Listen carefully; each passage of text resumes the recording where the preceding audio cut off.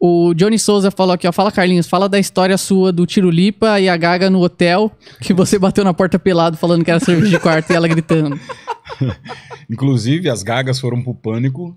É, porque eu contei essa história pro, porque eu contei essa história pro Emílio. Contei essa história pro Emílio, não, porque o legal da Gaga, na minha opinião, tá? Pessoal, o legal dela era o bastidor. Tem gente perguntando pra mim se ela era um gaga de verdade. Já perguntaram também no chat?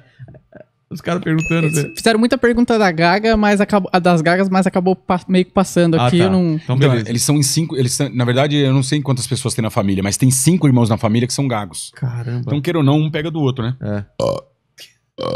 Ai, delícia. Aí um pega do outro. E é- e ela era gaga, mas quando ela tava tranquila, todo gago eu acho que é assim, ele gagueja menos. É. Por isso que eu pilhava muito, por isso que eu enchia o saco, eu zoava. É, porque ela ficava pé da vida. Ela não queria gravar comigo. Não queria de jeito nenhum. Só que eu falava, pô, eu que, que, eu que te chamei pra casa, rapariga. A rapariga, tá, tá, tá, tá. Aí ficava maluco. É, a gente tava, a gente gravava lá na- no show do Tom, e no, no Tom era mais, mais quadradinho, né? Mais roteiro e tal. Era era um pouco diferente, né? Na TV Record lá.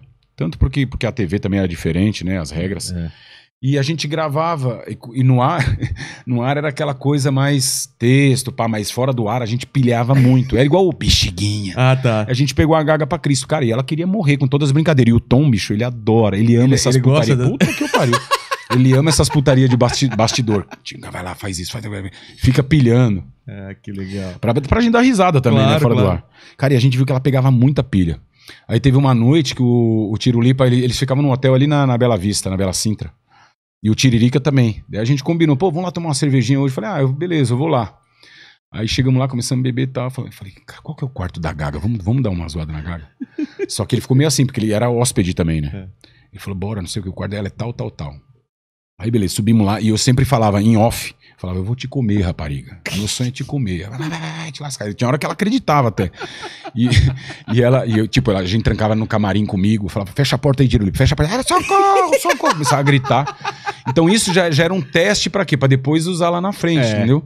E quando a gente, gati- como gatilho, É. né? Pra, pra- Aí quando a gente foi, é, quando eu fui lá tomar essa, uma cerveja com eles, bater papo no saguão do hotel, aí eu- a gente veio essa, essa ideia de ir lá no quarto delas. E ela ficava com a irmã dela no quarto. Com a, com a- com a- Ah, não, ela ficava sozinha na época. A irmã dela foi só, pra, só no pânico. Ah, tá. Aí ela. ela tava lá no quarto dela tranquilamente.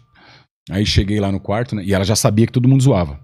E ela. E ela não abria a porta nem ferrando. Falei pro Tiririca, falei pro Tiririca, vamos falar, vamos combinar com o garçom, a gente dá uma grana pro garçom.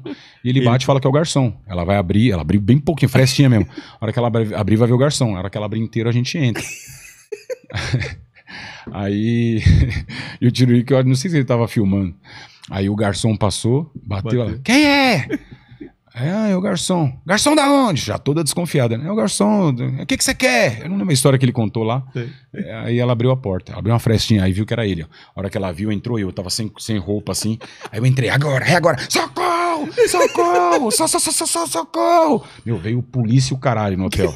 Só que aí eu fui embora correndo, né? Nossa. Deu mó merda, porque os, os vizinhos, os caras do hotel, da, da- dos quartos do lado, começaram a ligar.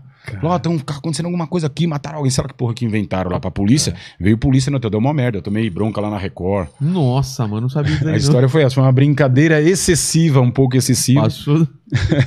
que ela ficou maluca, cara. Mas foi engraçado. E depois, devido a todos esses bastidores, eu falava pro Emílio, porque a gente queria ideia e tal. E quando eu voltei pro pânico, eu falei pra ele, pô, e se a gente trouxer a Gaga? Ah, mas a Gaga, pô, a gente já fez aqui, o Vesgo já gravou. Eu falei, não, mas é bastidora. Eu- ela me odeia. Se a gente fizer do jeito que eu tô pensando, vai dar certo. Aí a gente começou a brincar, fizemos um quadro ali no Tiririca, de Silvia, eu entrava de surpresa e ela não podia me ver. Se ele tiver, eu não gravo, se ele tiver, eu não gravo. E ela ficava maluca. A gente começou a explorar isso, entendeu?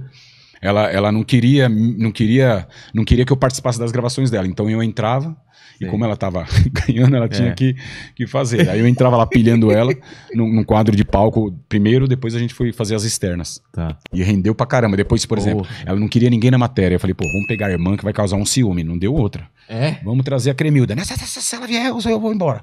tipo, a própria irmã, meu. Aí trouxemos a Cremilda, ela começou ali a deixar tal. Meu, e foi o sucesso que. Ela, ela, um ela, acredita, ela acreditava em tudo que a gente falava. Só que uma hora ela sabia que era tudo uma brincadeira, tudo uma zoação. Era pilha só pra poder render. Ela tinha que estar brava mesmo, senão ela não gaguejava direito.